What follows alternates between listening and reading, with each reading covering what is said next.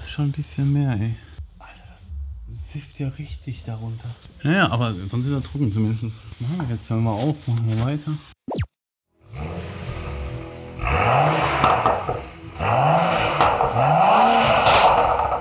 Ja, meine Lieben, willkommen im nächsten Video. Äh, ich bin schon wieder fleißig dabei.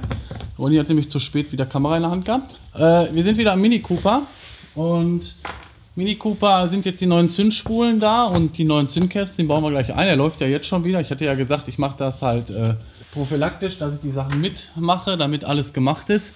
Äh, allerdings haben wir uns den Ventildeckel angeguckt, ähm, oder jetzt hinten, weil die, der eine YouTube-Kommentar war super. Äh, das gleiche habe ich mir auch schon gedacht, dass der nicht eventuell Falschluft zieht bei allen vier äh, mit zu mager.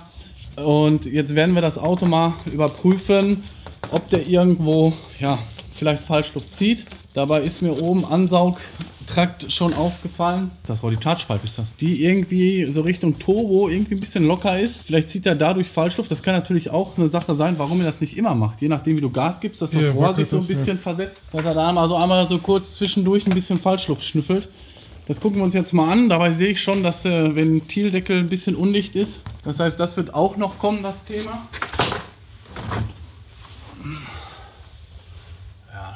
Also ein bisschen, bisschen, das ist schon nicht mehr schwitzen, ne? Nee, guck mal hier. Das ist schon ein bisschen mehr, ey. Naja, aber sonst ist er trocken zumindest. Ja, und dann wollen wir mal schauen. Alter, jetzt siehst du ja gar nichts.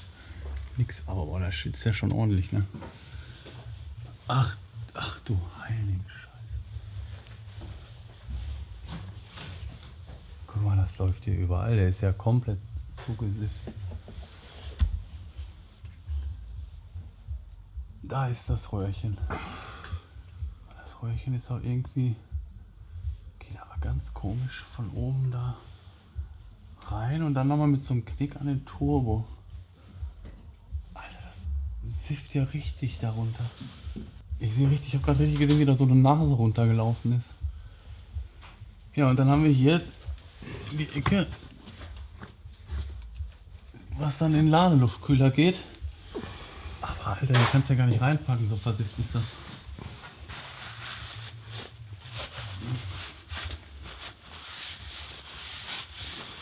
So. Ja, wunderbar. Ja, wir gucken jetzt einfach mal, ne? Vor allem, was ist das denn hier eigentlich? Was soll das sein? Ja, es geht zum Turbolader da irgendwie. Hier haben wir keine undichten Stellen. Also von hier unten siehst du mal wirklich mal wirklich wirklich gar nichts. Aber das ist super. Das ist super schrauberfreundlich. Richtig geil. Wir können jetzt halt nicht oben und unten gleichzeitig gucken, das ist das Problem. Der ist schon drauf, so ist es nicht. Alter, weißt du, wie viel Öl der verliert? Heide Witzka.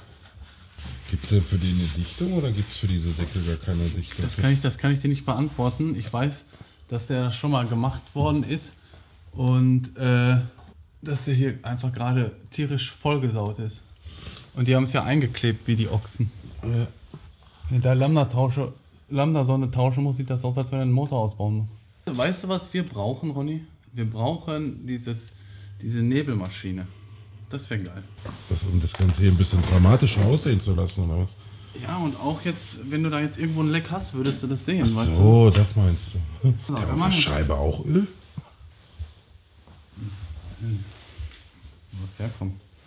Wir machen jetzt folgendes, wir tauschen jetzt erstmal die Spulen und die Zündkerzen und gucken dann mal an, wie die ganzen Werte sind. Das klingt doch nach einem Plan, oder?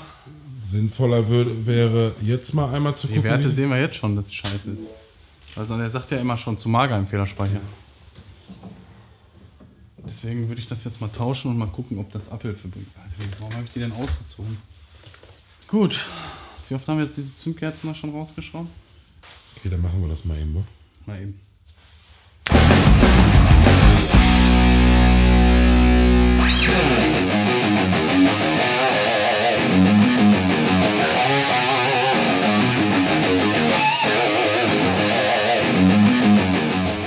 Du hast gepornt. Ja, filmst du schon? Super. Also, wir haben die Schraube hier losgemacht und ich kann den so anheben. Das heißt, der sitzt da gar nicht richtig drauf. Und wir gucken mal, ob durch diese ganze Softwareballerei hier dass alles noch so ist, wie es sein soll. Aber ich sehe schon, komm, kann man das hier abbauen? Muss man hier das. Hier oben sind diese Plastikdinger. Also bauen. Ja, aber das bringt dir nichts. Da musst du hier mit Scheibenwischer ausbauen, alles machen. Ja, aber kriegst du das nicht dann weg? Da drunter rausgezogen oder was? Ich weiß nicht, ob ein Mini Cooper. Das ist hier ist ja auch dieses Hitzeschutzband drunter. Und hier ist auch noch ein Schlauch dran und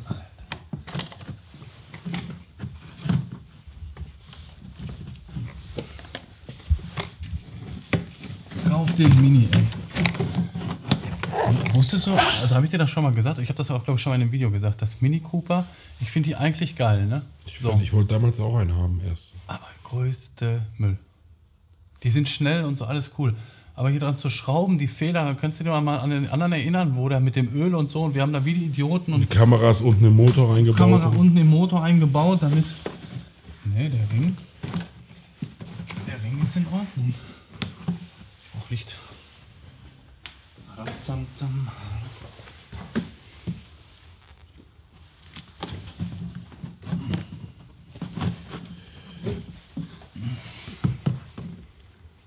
Und ich wette mit dir, wenn wir das dicht kriegen sollten, läuft der auch in der äh, Standdrehzahl nicht mehr so hoch.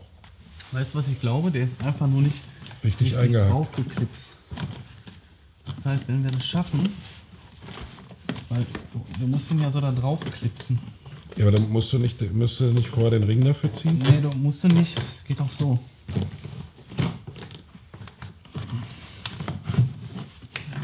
Gucken.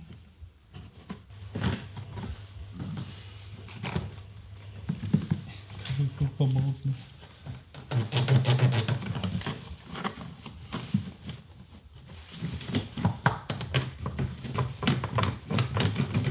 Ah, warte mal, ich glaube, ich habe es geschafft. Oh, heiß. Ich krieg den nicht mal nach oben. Ist schon drauf, oder? Aber ich frage mich, wie der runtergehen kann. Im Endeffekt kann das schon eigentlich. Hier ist ja auch schon, guck mal, das ist auch schon abgebrochen. Weil das war hier drunter geschraubt, ne? Wenn du das drunter schraubst, kommt das viel höher.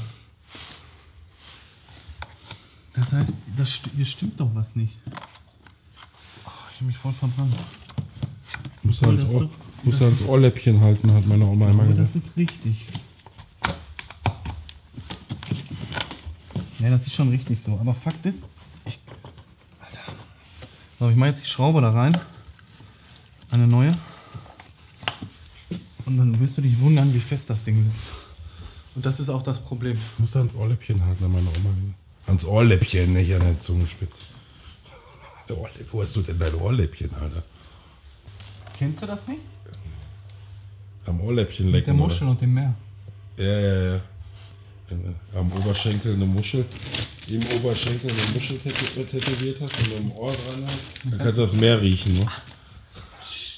Wocker hat mir gerade ein geiles Video gezeigt. Da macht einer so ein Form vom BMW. Fängt so hinten am Zeichen an. Hat die Kamera aber so rumgehalten. Du siehst das Auto richtig rum. Er geht so, dreht sich so, macht so den Porn so und siehst, wie das Auto am Dach liegt, vorne Achse rausgerissen. War auch gut. So, ja, ähm, dank der Info in den Kommentaren, also liebe Grüße gehen da nochmal raus. Wir haben uns das in der Aufnahme, als ich ja gesehen habe, gemischt zu mager auf allen vier Zylindern, habe ich mir sowas schon gedacht. Wir haben ja jetzt, wie gesagt, oben das äh, Ladeluftrohr da, äh, die Ansaugung, das Rohr war ja definitiv lose. Lambda-Werte blendet Ronny euch jetzt mal ein. Ich fahre 2000 Umdrehungen. Wir geben mal Gas. Was passiert da was? Ja, ist okay, ne? Wir haben da unten die Lambda-Sollwerte. Das hat wahrscheinlich auch wirklich was mit der Schubabschaltung zu tun. Aber wir sind immer so auf 1 unter 1 und äh, das ist äh, nicht mehr zu mager. Alles, was ja wirklich über 1 ist, ist zu mager. Ne? Ich, ich muss jetzt auch dazu sagen, gerne mal euer Fachwissen da rein, weil mit dem Thema habe ich mich echt zu wenig beschäftigt, wenn ich ehrlich bin. Also wo perfekte Lambda-Werte liegen. Du hattest vorhin auch mal um Klo, hast du gesagt, ne? Um Scheißhaus hast du gelesen. Ja, ich weiß ja, dass die irgendwie, aber ich wusste nicht mehr, äh, hohe Zahl äh, niedriger Wert und niedrige Zahl hoher Wert oder umgedreht. Also es ist ja so, dass äh, hohe Zahl ist äh, zu mager und niedrige Zahl ist fett. Ja. Wie gesagt, das scheint schon mal ganz gut zu funktionieren. Ich drehe da vorne vernünftig. Ich weiß, wenn ich hier drehe, dann ist wieder. Randale meinst du? Ja. Ich habe übrigens voll das coole Erlebnis gehabt, das kann ich auch mal eben noch im Video erzählen. Ich war heute bei, bei unserem Rewe, also bei dem Rewe, wo wir beide waren. Und bei dem Rewe bin ich dann rausgefahren und von rechts kamen ganz viele Autos und ich wollte mal eben noch schnell vorne her. Und ich fahre raus und bin richtig, also ich stand richtig schön quer, ne? Ich stand richtig schön quer und richtig schon so schön gezogen bis zur Ampel, ne? Und gucke und sehe, dass vorne an, der, an dieser, an, das ist ja so ein T-Stück, steht die Polizei. So, da bin ich dann links abgebogen und das wird dann zweispurig, dann standen die neben mir.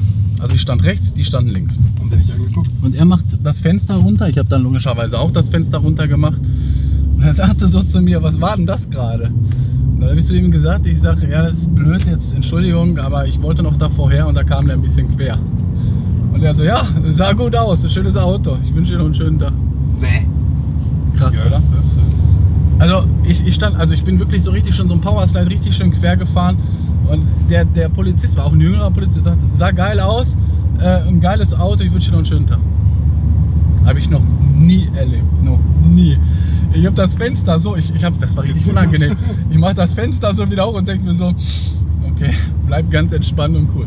Richtig cool. Also darfst du eigentlich gar nicht erzählen, weil sonst kriegen die hinterher dafür noch einen drauf, aber ich meine, ist ja, ich habe im Endeffekt ein bisschen zu viel beschleunigt, der ist ein bisschen quer gekommen. Ja, das passiert halt, ne?